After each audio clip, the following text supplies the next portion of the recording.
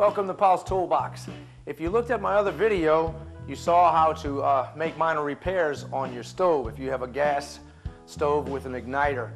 Uh, some of the most common problems are clogging of the uh, orifices and I show how to fix that. Now I'm going to show you how to clean your stove and make it look like new because a lot of times you'll get those stains on there that you really just can't get off. Well, there's an easy way to do it. Let me show you. I use a pumice stick. This right here is made to clean ceramic. You can clean rust off of tools or anything like that. It shows you a stove. So this is nothing new that I'm bringing to you. It's just a lot of people don't know about it. You can pick this up at Walmart or any one of your grocery stores a lot of times, and a lot of home improvement stores carry them in the cleaning section. Let me show you how it works. You see these stains that just won't come out. You can try to clean those with Comet or anything like that, and it's not going to get them clean. But that pumice stick will get this looking like new. This is what it will look like when you finish cleaning it with a pumice stick. Before I clean all the grills and burners, I'm going to take this apart and take the top off so we can get all these little crevices right here.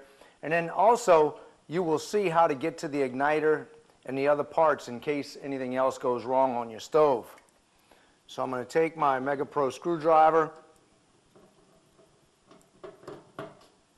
and unscrew this.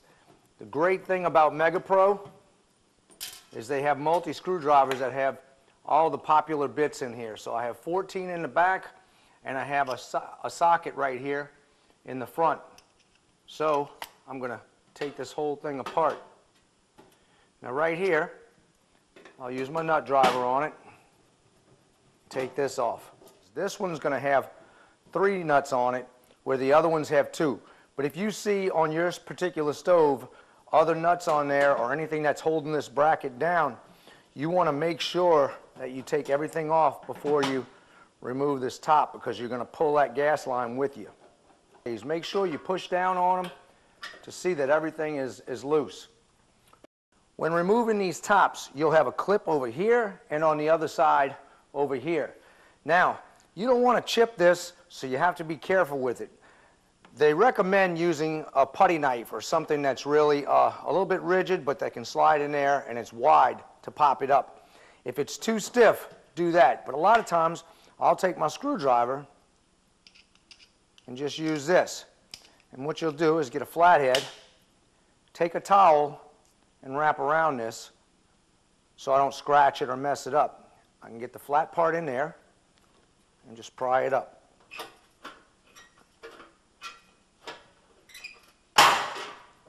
They're pretty stiff sometimes, they're pretty tight, but just be careful when you're doing it and you'll pop it off without causing any damage.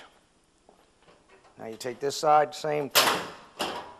That one came off a lot easier. All right, this just lifts up. Here's my pumice stick. You can see it comes in a block with paper or with plastic on it. I just peel it back and use this as I go. And it, it, it's crumbly. If you take it, you can chip it off. But it's very abrasive, so it's, it's really great for, for ceramic and things like that, but it's not good for painted surfaces or glass. Don't use it on that because you could scratch it. Let me show you right here. We'll start cleaning it. I'll just wet it up a little bit.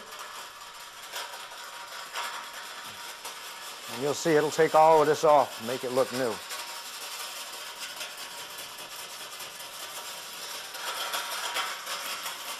Doesn't sound real good, but it really doesn't cause any problems at all. It will make this look like new.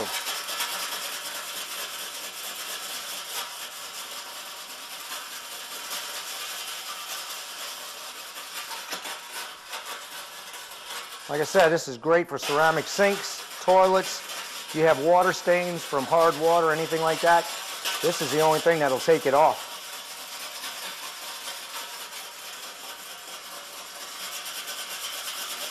Now we'll take a rag. And if you see any spots that you missed, just go back and hit it again. If you want to take and replace this burner You just unscrew it, and I use a crescent wrench to do that. You have a compression fitting on there, so you don't need any tape. to put it back on. Now right here, you can see your igniter. You flip it upside down, there's just a retaining clip that holds it in place. Sometimes it's a little stiff to get out, so you'll need some pliers. You pull that out, and when you pull that out, you can slip this up and take the clip loose on the back. Now you can replace your igniter. So I'm going to put my igniter back in, of course, get this back in place. I just wanted to show you how it was done. Now you can take this whole piece down to your uh, local dealer and you can get a new piece. Just take this off your tubing right here if it's in good shape. If this is the only problem or if this is the only problem, you can replace this. There are a number of places online where you can order these parts. All you have to do is take your model number of your uh, stove and the make and you Google it and you'll find you'll find all kind of parts places places for it. First, I'm gonna get my retaining clip back on here. Make sure that this little wedge part faces down right here. You want that to face down, away from your burner. Get it down in that groove, because if you look right here, see how it's grooved out? This collar is just going to snap right in place on there to keep it and keep it tight. So we'll take it and slip it back in the hole. And I'll make sure I got this right. My eyes aren't that great anymore. So I have to make sure I have it right. All right. Now I'll take this, whoop, plug it back in, or I won't have an igniter. Now we'll take this and Put it back down on here. Snug it up. You do not want to over tighten this. You just want to have it nice and snug. Once you get it snug, you go a tiny bit more past it, and that's it. That's all you need.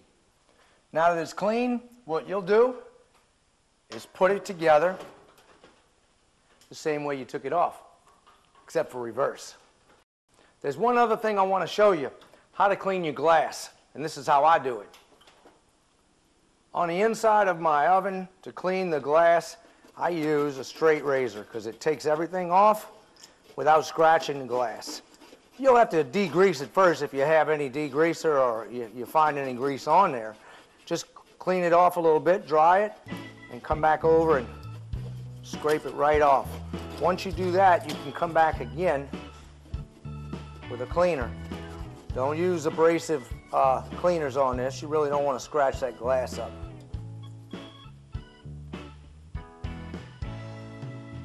That's it for now. If you found this video helpful, hit like for me. Check out paulstoolbox.com for all my archive videos.